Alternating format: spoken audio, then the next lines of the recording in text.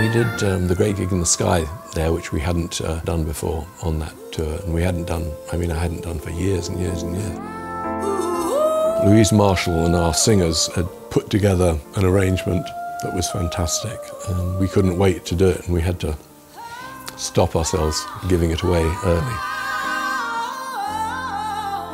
And of course we did One of These Days, which we hadn't been playing very much on the tour, and that's the only song, in fact, that we played with Pink Floyd back in 71 that we repeated again this time.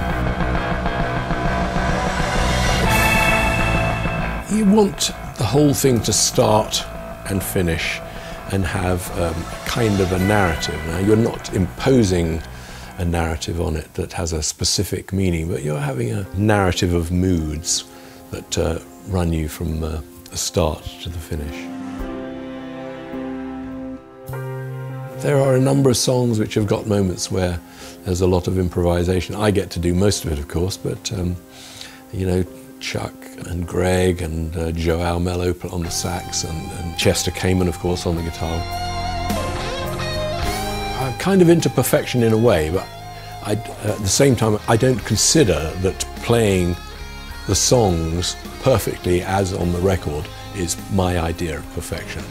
Um, I want it to be live music. I want people who play with me to have um, some autonomy. I would rather that we go for something and enjoy actually playing and making music.